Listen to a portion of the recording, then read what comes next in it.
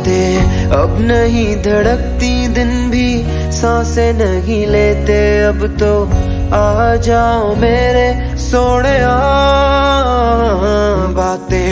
रह गई अधूरी मेरे लबों पे ज़रूरी, आके सुन जाओ मेरे सोने तेरे बिन।